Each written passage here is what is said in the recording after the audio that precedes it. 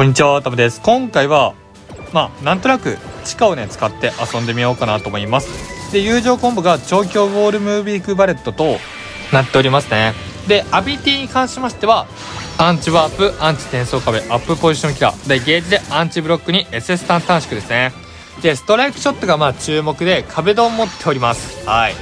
まあもう恋バナということで、まあ壁ドンと持っておりますね。で、イラストがさ、地味さゴキブリいるのが細かいよね。うん。これちょっとねあの一番いい点がいい点だなって僕は思ったかな。自分ねあの地下が星6ガチャ券で、まあ、出るんだろうなと思ってたんですよ。で天満の古城2で最適性をもらってまあ壁ドン持ってまあ強いような感じになるんだろうなと思ったんだけどまさかの降臨で壁ドンつくとはね。いや、個人的にこれは意外だった。まあ、早坂さん、ねちょっとね、早坂さんは意外だったな。なんかね、ワールドトリガーの、ね、篠田本部長と同じ匂いがするよね。多分考えた人同じなんかな。まあいいや。で、とりあえず、OK。友情コンボやっぱり強いね。で、大賢者使います。よいしょと。うん。で配置はいい感じですね。で次にえっ、ー、とどうしようかな。はい。これで倒せるかな ?OK いいね。いけるね。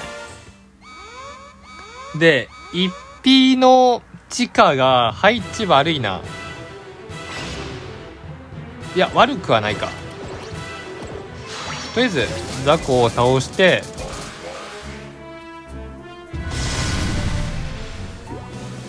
うん。OK で 1P の位置をちょっとしっかりとずらします。うん。OK めっちゃいいんじゃない？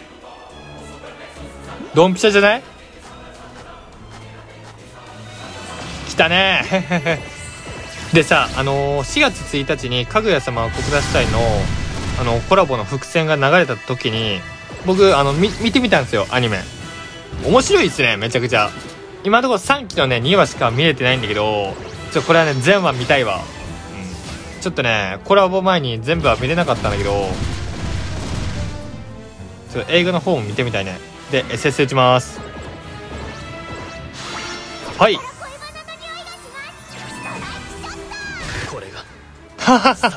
まあ、できるよね。壁ドンですから。はい。まあ一応、降臨キャラでこういう壁ドンストライクショットを持ってるので、まあ自分にね、優秀かなって思いますね。うん。なんかのこういうクエストでなんかワンパン集会とかも使えたりできるのかなで、最後にね、ちょっと天魔の古城7でちょっと、やべ、ボスにね、ストライクショットを打ってみたいなと思います。うん。あの、壁に触れるごとに、あのー、パワーがアップなんで、あのやっぱりボスに体ねボスに体ねはい。とりあえず結構いい位置に行くんじゃないかな。あこれめっちゃいい位置じゃない？これいい位置いったからこれをちょうど真ん中に挟まっか。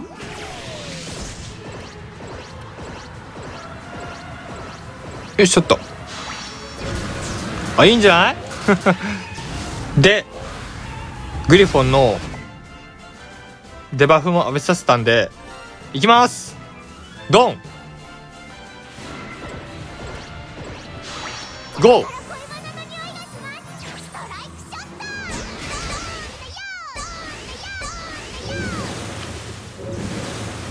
すごいね。壁に触れるごとにボイスになってるねこれ。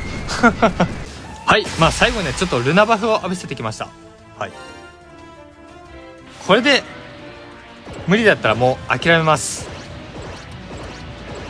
こうかな？いけ！いったれ無理！